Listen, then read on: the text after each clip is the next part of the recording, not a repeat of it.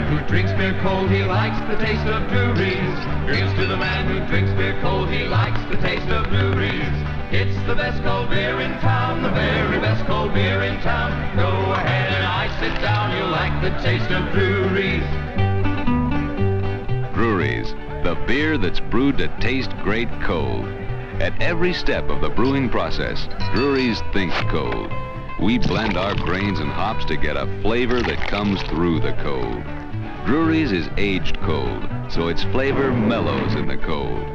Why, Drewry's is even taste tested cold. Very cold. It's the best cold beer in town, the very best cold beer in town. Go ahead and ice it down, you'll like the taste of Drewry's. C-O-L Big D. Drewry's. Best cold beer in town.